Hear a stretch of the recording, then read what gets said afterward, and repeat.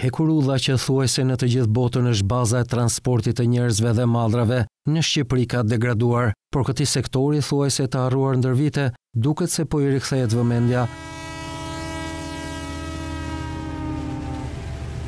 Së fundmi, Drejtoria e Përgjithshme e Hekurudhave ka hapur dy tenderë me nga pesëdhjetë milionë lekë secilin për përmirësimin dhe rritjen e shpejtësisë së lëvizjes në linjë. Pritet të ndërhyhet në dy segmente, atë Durrës Elbasan dhe Rrogozhinë Lushnjë, në secilën këto linja do të zëvendësohen materialet e amortizuara të trasesë, në një gjatësi prej katër mijë metra linearë për secilin segment. Siç specifikohet ndër të tjera në dokumentet e tenderave, do të kryhet plotësimi i linjave me traversa druri të reja, pasi ato ekzistuese janë plotësisht të kalbura dhe një pjesë janë djegur në masë nga rënia e zjarreve. Krahas këtyre punimeve, në urën e Rrogozhinës do të zëvendësohen edhe parmakët që janë amortizuar, sipas Hekurudhës Shqiptare. Në përfundim të punimeve të mësipërme mendohet se shpejtësia e lëvizjes së trenave në këto dy segmente, nga pesë kilometra në orë që është aktualisht, të shkojë deri në dyzet kilometra në orë, ndërkaq referuar buxhetit të shtetit dy mijë e njëzet e tre. Për transportin hekurudhor janë parashikuar rreth njëzet e tetë pikë dy milionë euro financime të huaja, që do të përdoren për linjën Shkodër-Hani i Hotit, rehabilitimin e linjës Durrës-Terminali i Pasagjerëve Tiranë,